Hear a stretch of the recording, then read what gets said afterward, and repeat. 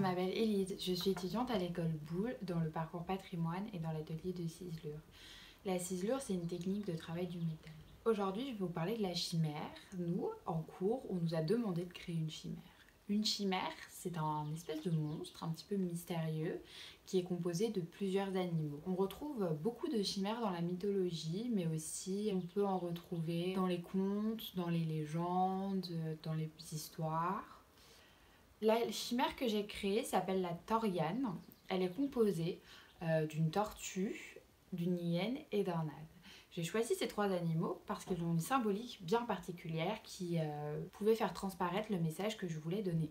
La tortue, elle, c'est le symbole de la grandeur de la nature, de la terre, de la bonté de la terre. La hyène, c'est le symbole de la violence et de la déviance, alors que l'âne, c'est le symbole de la bêtise.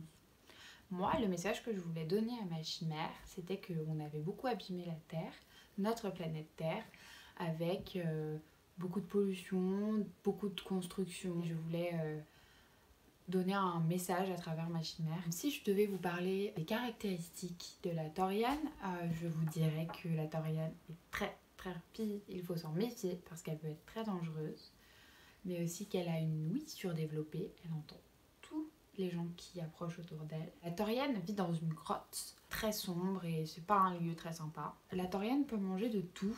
Elle peut manger des plantes, mais elle est plutôt carnivore. Euh, elle peut manger des animaux, des animaux aquatiques ou pas forcément.